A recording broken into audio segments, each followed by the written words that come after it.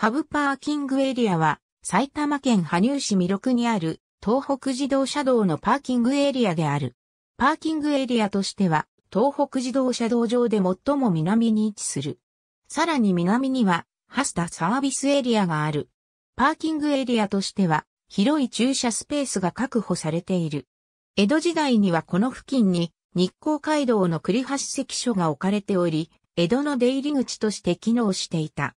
そのため、上り線では、江戸の世界観に初めて触れる機会として、鬼平犯科町の世界観に基づく江戸風の建築が設けられている。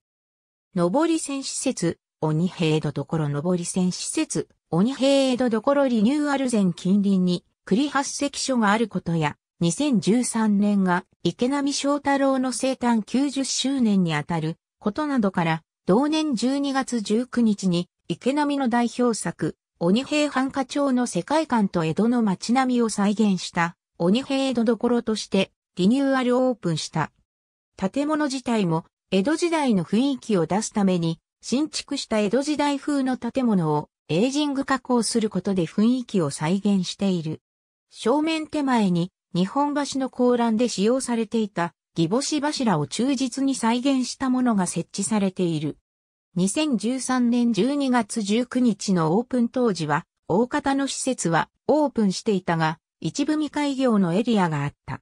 2014年3月に工事がすべて完了し、同時に一般道側にも駐車場と連絡通路が整備され、一般道からの利用も可能になった。2009年11月18日にパサールハブとしてリニューアルオープンした。ありがとうございます。